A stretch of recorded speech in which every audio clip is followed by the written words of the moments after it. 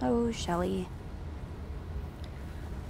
Taking a look at this time lapse that we saw this morning. We had some clouds over Pikes Peak and you can see the stars actually moving.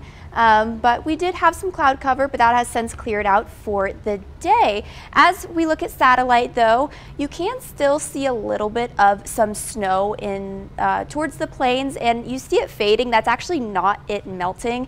Uh, that is actually the sun starting to set. So that's why you start to see it fade and the mountains saw some fresh snow as well. But that's also contributing to some colder air above the plains right now. You notice I-25 is much warmer than the plains or most of the plains. So La Junta sitting at 38 degrees right now. And for that sunset time for tonight, that's going to be 4.43 p.m. So that sunset time is getting earlier and earlier every day that we go. And for Pueblo, that should be 4.44 for you guys. So just about a minute off. And for that forecast for tonight, 24 for the Springs for that low, 22 for Pueblo. We'll have some clouds in the area, but that wind should stay light coming out of the north. 5 miles an hour for the Springs and only 3 for Pueblo. Overnight lows tonight, 24 again for the Springs.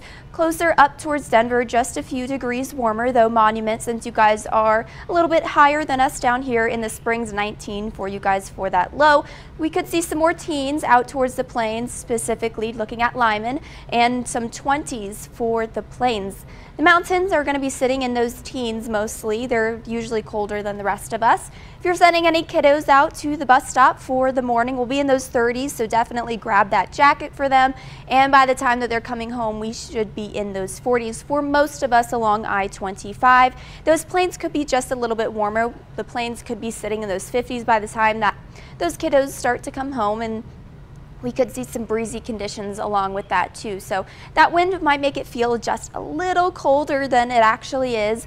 Highs tomorrow, 56 for the Springs and 59 for Pueblo. Again, by the time that those kids are coming home, it won't quite be in those 50s, though 40s for the plains and some 50s though sneaking in there. And for the mountains, we'll be in those 40s and 50s. As for what we are tracking though, we are going to be having this low pressure system that's bringing in some rain going into sun and Sunday evening and into Monday. But this second system that we are tracking is going to bring down some Arctic Arctic air and that will drop those temperatures for us and bring us some snow chances going into Tuesday.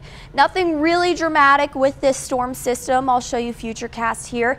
We'll be seeing some more cloud cover again, rain to start off going into Monday morning. That will leave by the time we get into the afternoon. We'll start to see some snow showers going into Tuesday morning for the higher terrain, though some of it could make its way off onto I-25. But as you can see, there's really not a whole lot uh, for us to accumulate accumulate. We're just going to be seeing some very isolated showers. As for the next seven days, 56 for your Monday, again, it'll be chilly, uh, but this is what your hour by hour will be looking like going into your Monday. And we'll start to even out with those temperatures eventually getting into those 60s. Pueblo, 59 for your Monday, cooling down on Tuesday. Cañon City, 58 for your Monday, eventually getting into those 60s. And Woodland Park, you're going to be the coldest out of all of us, eventually getting into those 50s.